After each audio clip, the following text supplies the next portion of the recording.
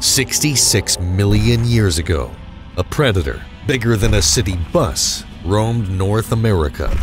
You've heard its name, Tyrannosaurus rex. But forget the movies for a second. This was a real animal, a creature built for a world very different from ours. Yet, what if this giant suddenly appeared today? Could something that colossal, powerful, and prehistoric adapt and thrive in our world of highways, skyscrapers, and social media? The atmosphere now might leave a T-Rex gasping for air. Some studies suggest that late Cretaceous air had higher oxygen, possibly up to 30 to 35% than today's 21%. Dropping a T-Rex into our thinner air would feel like placing it at a high altitude, as if it was at the base camp of Everest. According to one zoologist, a modern T-Rex might need a more efficient respiratory system. Fortunately, many theropod dinosaurs had bird-like lungs with air sacs, which are highly efficient. Those could give T-Rex a fighting chance. Over time, it might also adapt by lowering its metabolism or activity level to use oxygen more sparingly. A slower pace of life and more rest between hunts could become its new normal in an oxygen-poor world. T-Rex evolved in a warmer world than ours. Global temperatures in the late Cretaceous were about 4 degrees Celsius higher than today on average, and there were no freezing winters in its range. Our modern climate would impose cooler seasons and even cold nights that T-Rex never experienced. How to adapt? It might seek out tropical equatorial regions where the heat and humidity still resemble its ancient home. If forced into cooler climates, T-Rex could face trouble. Unlike furry animals, it wasn't built for the cold. Fossil skin impressions tell us adult T-Rexes were mostly scaly, not fully feathered. They likely didn't have a thick insulation layer. A modern T-Rex might grow a bit of fluffy covering if it had generations to evolve, similar to how some of its smaller cousins had feathery coats. But a sudden appearance in a cold environment would leave it shivering. Being giant was an advantage in the Cretaceous, but in today's world, it could be a handicap. At 8 plus tons, a T-Rex would require a tremendous amount of food to sustain itself. Modern ecosystems have fewer gigantic prey animals. With scarcer food, natural selection might favor a somewhat smaller, leaner T-Rex over time. Paleontologists speculate that if the T-Rex lineage had continued, it might have either grown smaller and faster, or even larger and more efficient, depending on pressures. In a food-limited scenario, a downsized, modern T-Rex would have better odds. Along with size adjustments, it might need to store fat or endure long periods without eating, much like crocodiles or Komodo dragons do. Research suggests it was not a sprinter, perhaps reaching speeds of 20 to 25 kilometers an hour, around 12 to 15 miles per hour at best. That's slower than a galloping horse or deer, but still faster than a human can run. In modern habitats, many prey animals are swift a T-Rex might not bother trying to outrun the fastest gazelles. Instead, it would adapt its hunting style. Expect a T-Rex to rely more on stealth and ambush, using cover to get close, than attacking with a sudden burst of speed. Its powerful legs could still accelerate it quickly over a short distance, enough to surprise a large target. Over evolutionary time, perhaps natural selection would favor individuals with slightly longer legs, or more muscular builds for speed, or conversely, those that are more energy-efficient walkers. But even without major changes, a modern T-Rex would still be a capable mover for its size. It could likely trek long distances in search of food, maintaining a steady pace. Tyrannosaurus rex lived in a humid, subtropical habitat during the late Cretaceous. Fossils from the Hell Creek Formation show that its environment was a low-lying floodplain, dotted with rivers, swamps, and forested regions. Think of lush conifer forests mixed with palm trees and ferns, a landscape with warm temperatures year-round and abundant rainfall. Fast forward to today, that Cretaceous habitat is gone. Mountains have risen, sea levels dropped, and the climate has cooled. If T-Rex were to survive now, it would seek out the closest match to its old home. The good news is that parts of our planet still offer warm, lush conditions reminiscent of the late Cretaceous. Experts note that land dinosaurs would find tropical and subtropical regions quite comfortable climate-wise.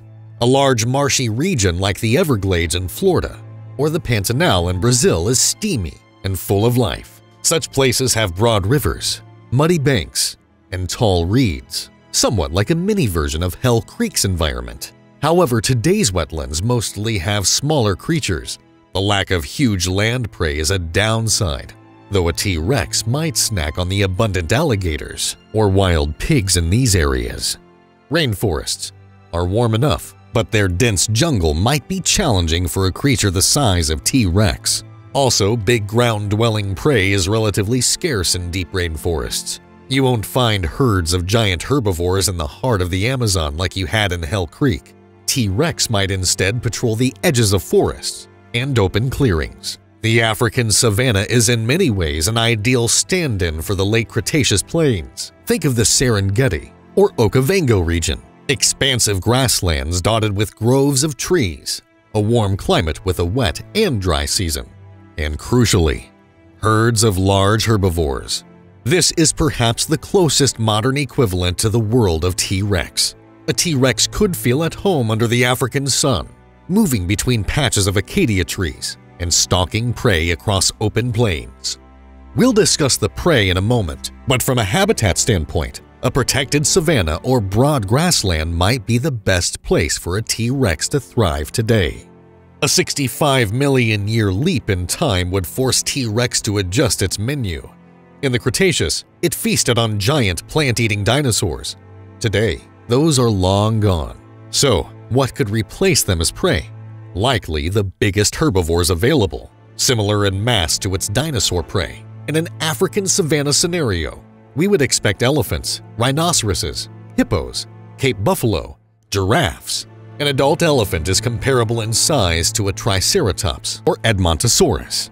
Taking down such massive prey would be perilous even for a T-Rex. Just as lion prides today target elephants or giraffes with mixed success, a lone T-Rex would have to be strategic. It might prefer juvenile or weakened individuals. For example, a young elephant separated from the herd or an old, sick giraffe lagging. Its attack would be brutal, a charging hit to knock the prey off balance, followed by crushing bites to critical areas. The T-Rex's bite force could crush through an elephant's leg bone or a rhino's thick hide. One or two well-placed bites might mortally wound even the largest mammal. Still, an elephant can fight back. A swing of its trunk or tusks could injure the T-Rex, we might see behavior similar to what T-Rex likely did with Triceratops. Target the less dangerous flank or rear, avoid those tusks or horns, and let the prey weaken from blood loss. Over generations, if hunting large, dangerous game became routine, natural selection might favor more intelligent hunting tactics or even social hunting. Outside Africa, a T-Rex might look to other regions. In South Asia, Elephants and water buffalo could be targets. In Southeast Asia, perhaps large bovines like gaur or the last remaining rhinos. In North America, wild bison or moose would be among the largest land animals, but a T-Rex might need to make do with multiple smaller kills. It could also prey on horses or cattle on ranch land, which would undoubtedly cause conflict with humans. In South America or Australia, native megafauna are largely gone, these might not satisfy its huge appetite unless it ate many of them. Thus, the highest likelihood of sufficient prey biomass is again in Africa or possibly parts of South, Southeast Asia. A hungry T-Rex is not going to be very fussy. We know from fossil evidence it could scavenge carcasses. In modern times, it would continue this behavior. It might trail behind vulture flocks or watch where lions and hyenas gather, then scare them off and claim the carcass. Its arrival would send any other predator running. Even a pride of lions would likely retreat from a feeding T-Rex rather than risk death. This means it could steal kills and subsist partly as a scavenger. Would humans be on the menu? It's a question everyone wonders. The short answer? Possibly. But humans would likely be a minor part of its diet. If a T-Rex were roaming and encountered an unprotected person, it might very well see a bipedal primate as prey. After all, we're meaty, soft, and slow. However, we're far smaller than a T-Rex's usual prey. A single human at 70 kilograms would be a snack, not a full meal for a 7,000 kilogram dinosaur.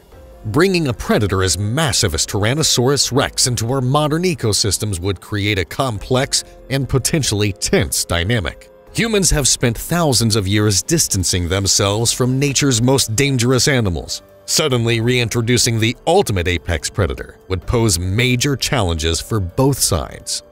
For ecosystems, the arrival of a T-Rex would cause significant changes. It would immediately ascend to the top of the food chain, rearranging predator hierarchies wherever it lived. Lions or wolves would be forced to surrender kills to this towering newcomer, possibly changing their hunting patterns to avoid direct competition. Herd animals, too, would have to adapt. Species unfamiliar with such an immense hunter might become more wary, sticking together closely, or migrating differently to avoid known T-Rex territories. Yet there could be benefits. A top predator like T-Rex could balance ecosystems, controlling populations of large herbivores and indirectly benefiting plant life. It might even help maintain the overall health of prey populations by removing weak or sick individuals. However, the line between a balanced ecosystem and ecological chaos would be thin. Human response would be the ultimate factor in determining T-Rex's survival. Could we learn to share our world with a creature from deep time?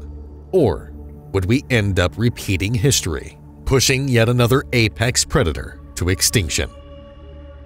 That's all for today. If you enjoyed this video, don't forget to like, subscribe, and share it with your friends. You can also leave a comment with what you would like to see in the following videos. Thanks for watching.